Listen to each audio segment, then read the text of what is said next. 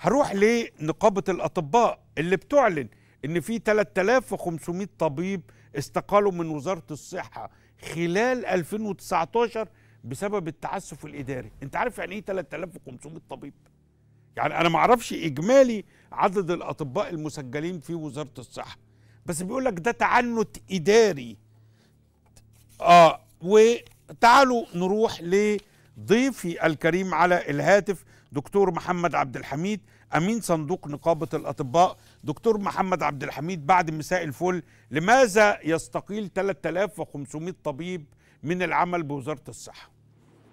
السلام عليكم أستاذ محمد إزيك وإزاي مشاهدينك الكرام؟ أهلا بحضرتك. طبعا آه، الوضع في وزارة الصحة لا يخفى على أحد.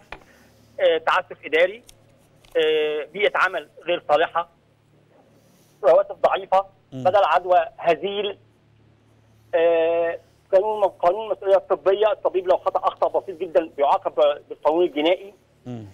آه، دراسات عليا ما فيش على حساب الطبيب مم. رغم إن أنا عندي قانون إن الطبيب المفروض دراسات العليا على حساب جهة العمل. الوضع العام طبعا اعتداءات متكررة على الأطباء وبيحملوا الأطباء ضعف المنظومة الصحية وسوء المستشفيات وعدم تجهيزها.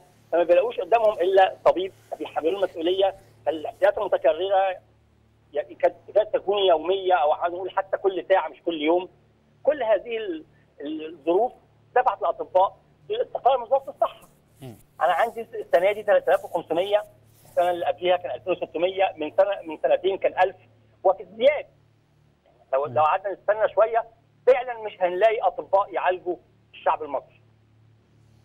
طب آه بس دي مشكلة مزمنة منذ سنوات طويلة وليست في عهد الوزيره الحالية فقط. طبعا المشكلة م- مترتبة على سنين لكن طبعا آه، الوزيره الحالية للأسف ساهمت فيها بجزء كبير جدا.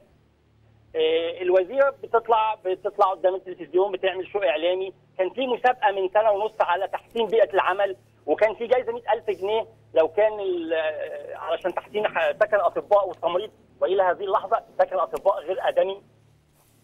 طب ما تديني آه حلول سريعة آه تنتظرها النقابة من الوزارة. رقم واحد التعسف الإداري. رقم اثنين الدراسات العليا على حساب جهة العمل. رقم ثلاثة حماية للفريق الطبي مش بس للاطباء لجميع العاملين في المنظومة الصحية. أهم حاجة الرواتب.